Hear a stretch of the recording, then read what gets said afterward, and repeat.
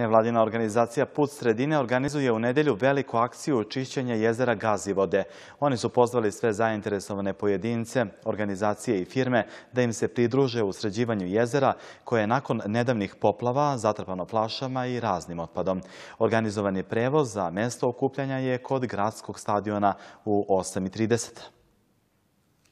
Put sredine ima za cilj da okupi sve ljude, ljubitelje prirode, to je broj jedan sve organizacije koji su, imaju sluha za prirodu i za čistoću, da se borimo svi, svim silama i snagama protiv nečistoće.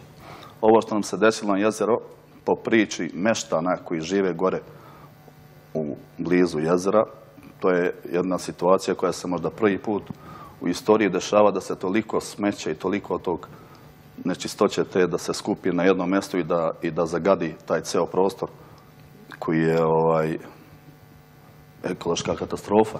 A mi ribolovci, mi svakodnevno čistimo jezera i rijeke. Ovaj, prošle nedelje smo tu imali neku mini akciju, s nama su bili studenti, a stanje je alarmantno. Mi smo očistili onoliko koliko smo mogli taj dan, pošto je bilo, ja mislim, i preko 30 stepeni, bilo je toplo. Ove nedelje nadam se da će biti mnogo, mnogo ljudi i da ćemo mnogo više da uradimo ovaj, nego prošli put. A i temperatura će biti niža. Eh, evo, pre emisije sam baš negdje pogledala kako će da bude, kažu 17 stepeni. Negdje to mnogo bolje. I... Bolje ako bude ta temperatura, onda možemo duže da radimo. Prošli put nismo mogli.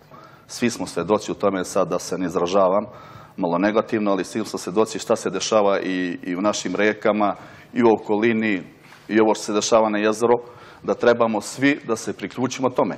Nekako sam, nekako sam sve ovo nazvao jednom lađom spasa.